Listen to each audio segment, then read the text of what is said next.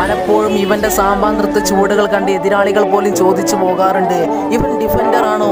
അതോ ഫോർവേഡ് ആണോ എന്ന് അവരോടൊക്കെ ഞങ്ങളൊരു മറുപടിയേ പറയാറുള്ളൂ. ഇവിടെ ഡിഫൻസിങ്ങും പോവും അറ്റാക്കിങ്ങും പോവും. ബിക്കോസ് ദിസ് ഈസ് മാർഷൽ ഒഡേ വിയറ മേഡ് ഇൻ ബ്രസീൽ